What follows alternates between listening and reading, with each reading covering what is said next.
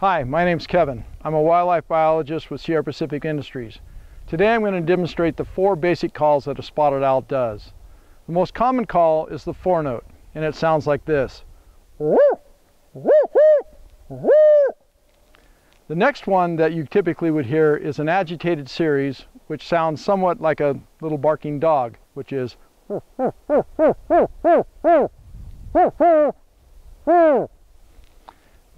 then you have one that's called a crow bark, which typically the bird does when it's getting upset, and it sounds like this. And then finally, the fourth call is a contact call, which is normally done between a, a, a, the male and the female of a pair, and it's just a it's just a whistle, but it.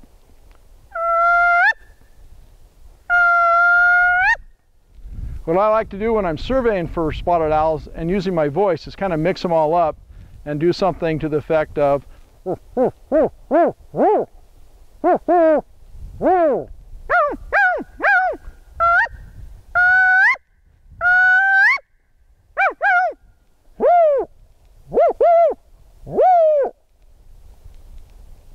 Thank you.